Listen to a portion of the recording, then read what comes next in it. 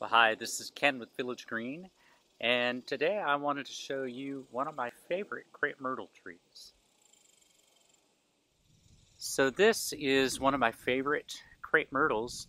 It's it is there. It goes by several different names. Uh, a couple of them you you can look for. Uh, there's there's one called a dynamite crepe myrtle. There's also another one called red rocket, and they're very very similar. Um, and What's nice about this is height-wise, it's a semi-dwarf, which means this one is mature.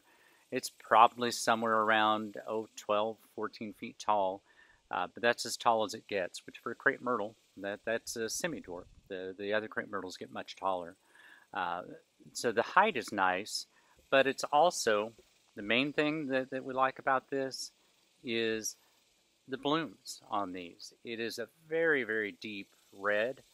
Uh, it starts out a deep red as, as the year goes on. It is going to lighten up somewhat, but it is a, a, very striking color.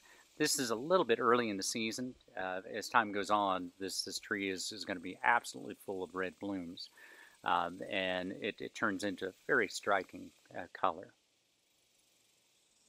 So this is Ken with Village Green. If you like these videos, please subscribe to our YouTube channel.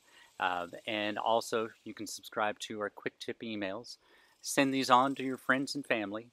Uh, Village Green, your neighborhood lawn and landscape experts. If you're looking for sprinkler repair, fertilization, or uh, landscape installation, give us a call.